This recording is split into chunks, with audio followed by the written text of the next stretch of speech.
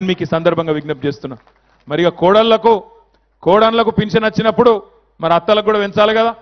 ఇప్పుడు అత్తలకు పెన్షన్ పెరిగింది ఇప్పుడు రెండు వేలు అయింది ఆసరా పెన్షన్. అందుకే ముఖ్యమంత్రి గారు అంటుండ్రు మరి కోడలకు మూడు వేలు ఇస్తే అత్తకి ఇంకా కొద్ది అత్త పైన ఉండాలి కదా కోడల మీద. అందుకే అత్తలకు కూడా ఆసరా పెన్షన్ అందుకుంటున్న అత్తలు పెద్ద వయసులో ఉన్న వాళ్ళందరికీ కూడా ఐదు వేల రూపాయల పెన్షన్ ఇవ్వబోతున్నాం కేసీఆర్ గారు. మూడవసారి ముఖ్యమంత్రి అయిన తర్వాత అనే మాట ఈ సందర్భంగా నేను తెలియజేస్తున్నా. అదేవిధంగా అదేవిధంగా మొన్న కేసీఆర్ గారు ఖమ్మం జిల్లాకు పోయిండు.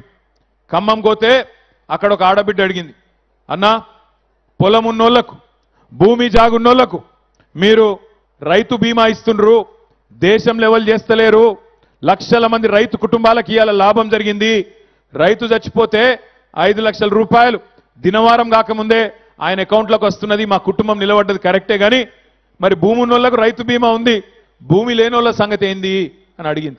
అడిగితే కేసీఆర్ గారు ఒక మంచి నిర్ణయం తీసుకున్నాడు. ఏంది అంటే డిసెంబర్ మూడు తర్వాత తెల్ల కార్డు ఉంటే చాలు భూమి ఉన్నా లేకపోయినా ప్రతి ఒక్క కుటుంబానికి ఐదు లక్షల జీవిత బీమా కేసీఆర్ బీమా పేరు మీద. ఐదు లక్షల జీవిత బీమా కేసీఆర్ బీమా ప్రతి ఇంటికి ధీమా అనే కార్యక్రమాన్ని కూడా చాలు చేసినాం. ఇంకొక మాట ఇవాళ దేశానికి బువ్వ పెడుతున్న తెలంగాణ. నంబర్ వన్ అయిన తెలంగాణ వరిధాన్యం ఉత్పత్తిలో పుట్లకు పుట్లు మా రైతన్నలు. వరి పండించి నేను నెంబర్ వన్ అయినాం.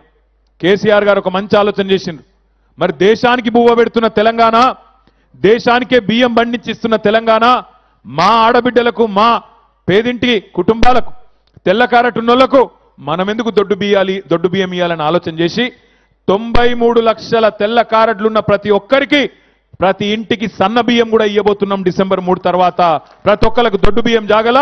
సన్న బియ్యం కూడా ఇవ్వబోతున్నాం అనే మాట నేను మీకు తెలియజేస్తున్నా. అంటే ఇప్పటికే కొన్ని మంచి చేసుకున్నాం. ఆసరా పెన్షన్లు ఇచ్చుకున్నాం. రైతు బంధు పెట్టుకున్నాం. గృహలక్ష్మి ఇచ్చుకున్నాం. ఇంకా చాలా కార్యక్రమాలు పెట్టుకున్నాం. రేపటి రోజున మూడు తారీఖు తర్వాత ఈ నాలుగైదు కొత్త కార్యక్రమాలు కూడా ప్రారంభించుకుంటాం. మంచిగున్నాయా లేవా ఇవి? మంచిగుంటే గట్టిగా సప్పట్లు కొట్టి ఒకసారి కా- సార్కు చెప్పాలి కేసీఆర్ గారికి? మీరు మంచిగా లేవంటే మరి మేము కూడా ఆలోచించుకోవాలి. మరి మంచిగా లేదంటాను మా ఆడబిడ్డలని. నేను ఇంకొక మాట అడుగుతున్నా. గిన్ని చేసిన కేసీఆర్ గిన్ని పనులు చేసిన కేసీఆర్ను తెలంగాణ సమాజం వదులుకుంటుందా? వదులుకోవచ్చునా? ఒక్కసారి ఆలోచించండి యాభై ఆరు యాభై ఏడేండ్లు ఇవాళ రాహుల్ గాంధీ వచ్చి అంటాడు దొరల పాలన కావన్నా ప్రజల పాలన కావాలన్నా అంటుండు. నేను రాహుల్ గాంధీకి ఒకటే చెప్తున్నా బరాబర్ నవంబర్ ముప్పై నాడు జరిగేది నిజంగానే ఢిల్లీ దొరలకు తెలంగాణ ప్రజలకు మధ్యన జరిగే పంచాయతీ ప్రజలకు మధ్యన జరిగే కొట్లాట. నేను ఢిల్లీ దొరలను తనే అంటలేను. రాహుల్ గాంధీ నరేంద్ర మోడీ ఇద్దరు ఢిల్లీ దొరలు ఇవాళ కేసీఆర్ మీద పగబట్టిండ్రు కేసీఆర్ అనేట ఆయన తెలంగాణ గురించి ఎక్కువ మాట్లాడుతాండు. కష్టపడి తెలంగాణ తెచ్చిండు. సావు నోట్లో పోయి తలవెట్టిండు మొత్తానికి నిరార దీక్ష చేసి తెలంగాణను బయట వారేసిండ్రు. కానీ తెలంగాణలో మళ్ళా గెలువనిస్తే కేసీఆర్ను మహారాష్ట్రలో వచ్చేటట్టున్నాడు. మాకు ఎసరు